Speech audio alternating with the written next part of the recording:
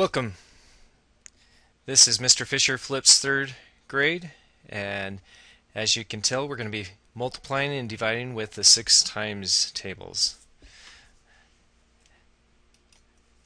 To start out today we're going to look at the times tables and some video links that are going to be on the um, blog and you're going to find a quick overview of chapter 2 it will be helpful especially for those that are um, wondering where we're at, um, this will give you a quick overview of where we're going. We're going to do some math problems with the anytime problem, um, math expressions. We're going to explore, model, apply, and problem solve using the sixes. And we're going to do a quick practice with some sixes. And one of your assignments will be to bring some everyday items that come in sixes and you also have a math assignment to do. So as you can tell this ghost keeps popping up. Um, this is a reminder if you're watching Monday night or Tuesday night that the Science Spectacular put on by the 4-H is at Adele C. Young Intermediate School from 6 to 8 on October 1st. That's Tuesday night. So if you want to come, that's available. Let's get on with the six times tables and like in a, it's suggested, there are some six times tables um, links that will be on the website. I got six. That's all there is. Six times one six. One times six. He got six. I put mine with his, and we got twelve. Six times two is twelve. Anyway, there's going to be some links on the website. Um, some that are just going to be off YouTube, like the Schoolhouse Rock videos that we just watched. That was I Got Six video. Well, the ones I really, really like are the ones that are student made. Hint, hint, anybody that would like to make a Genius Hour video, this would be available for them to do during Genius Hour. Um, but this one's put on by Weber Tube, that's Weber School District, and they have a lot of great videos that um, go along with the curriculum. So you might see a couple of those on the website later on and within some of our lessons. And this one's always fun.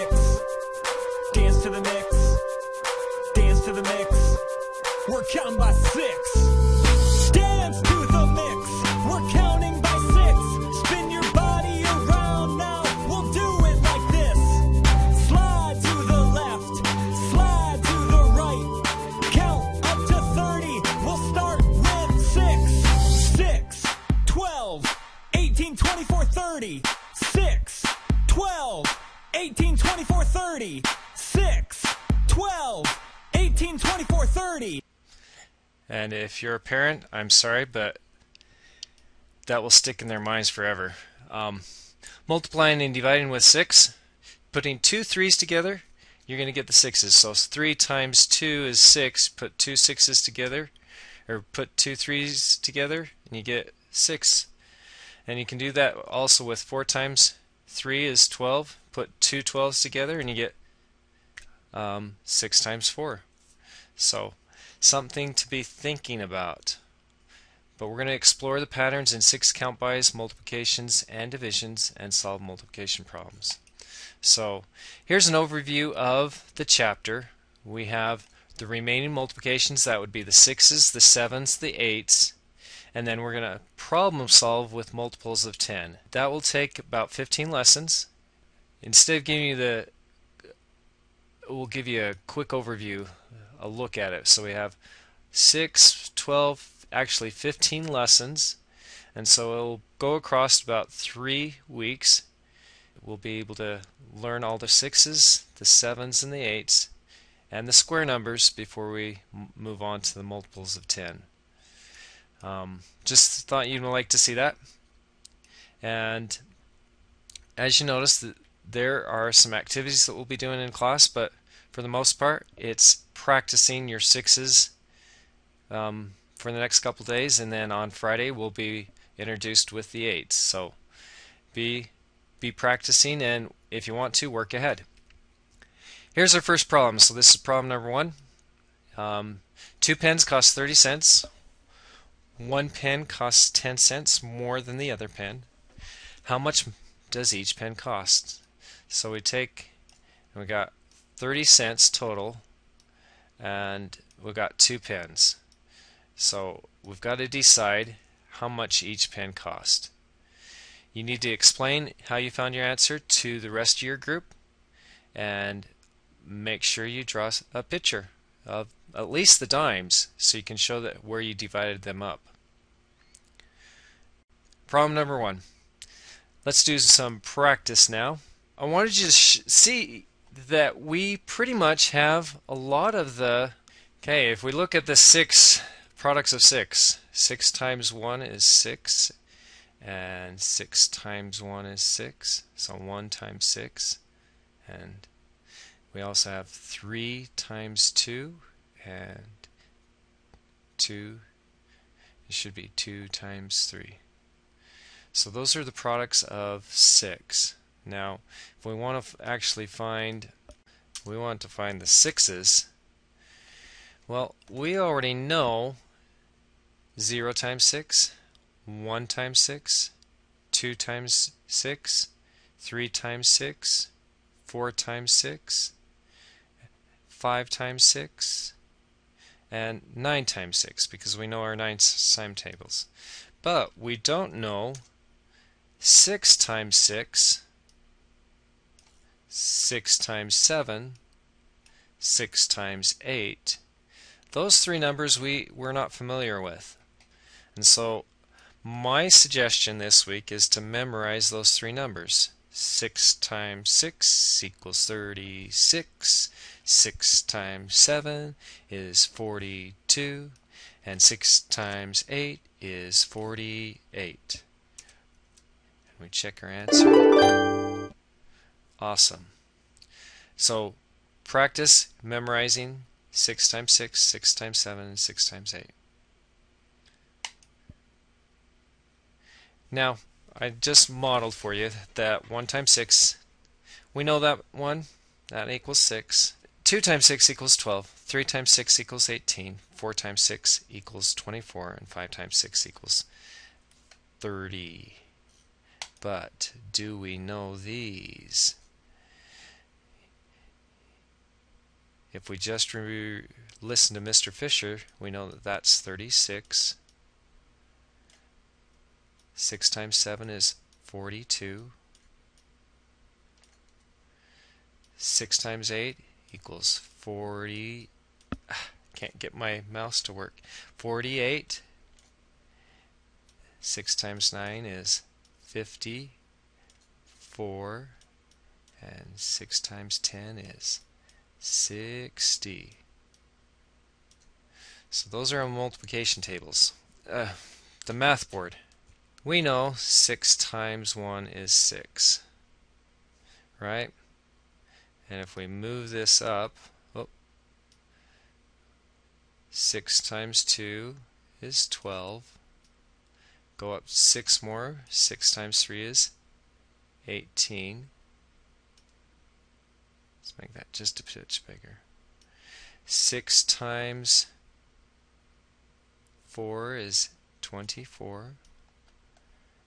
6 times 5 is 30. So maybe you can see some patterns. I would suggest that you get a, a separate piece of paper and actually write down 1 times 6 equals 6 and go all the way up to 6 times 10. And do it on a separate piece of paper so that you can practice and then see if you can see any patterns. Well, one of the patterns that you'll see is that there's a pattern right there. Another pattern you might be able to see is that it repeats itself. There's one six, there's two sixes, there's three sixes, four sixes. Patterns that you might see. When you see the six count bys, do you hear any three count bys? So we can actually count 6, 12, 18, 24, do you, and 30. Do you hear any count bys? If I did the three count bys, I'd be, it'd be 3, 6, 9, 12, 15, 18, 21, 24, 27, 30. Do you see there's some three count bys within the sixes? We're going to let you contemplate that pattern before we move on. Okay, problem number two. Use one of the strategies you have learned to find 7 times 6. Show your work.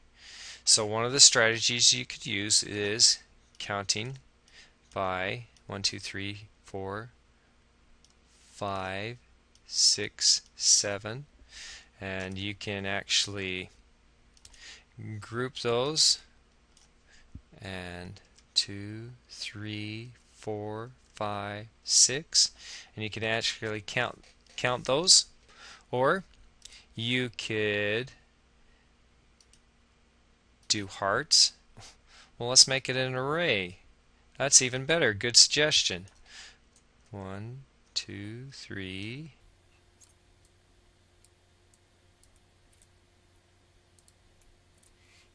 We can put those in a row. And let's count them. One, two, three, four, five, six, seven. How many rows are we going to need? One, two, three, four, five, six. So there's two suggestions. Maybe you have some other ways that you use to show 7 times 6. Make sure you show your work. Problem number 3. Use one of the other strategies you have learned to find 8 times 6. Show your work.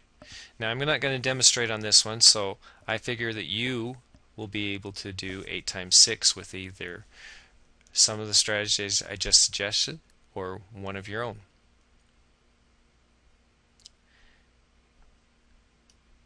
Now, practicing our sixes. Let's practice our six count bys. So, 1 times 6 equals 6. 2 times 6 equals 12. Let's do it with twin sisters tonight.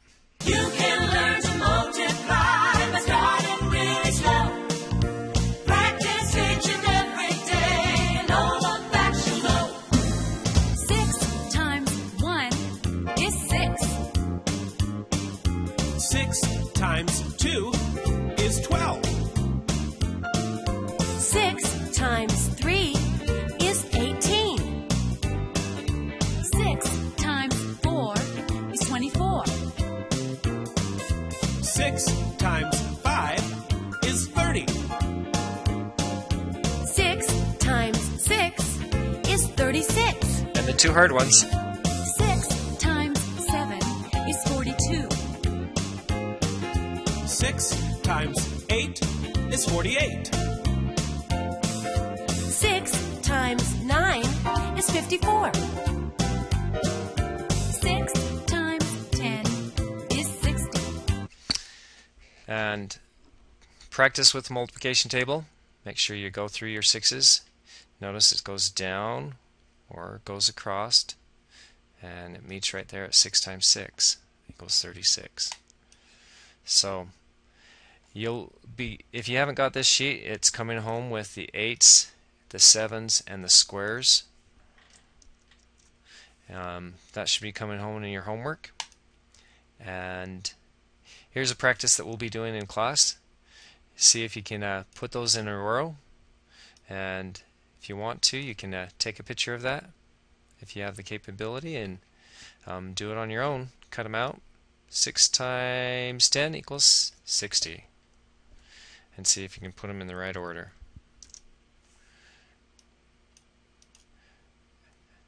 Now, I did show this earlier, but if you notice, these problems right here that we don't know yet. And if we look at that, those problems, 6 times 6 equals 36, 7 times 6 equals 42, and 8 times 6 equals 48. Those ones we haven't memorized yet. And we'll memorize the 7s and the 8s later, but those nine problems are the only ones we have not learned yet. It's kind of exciting to see that we we know most of the multiplication tables already.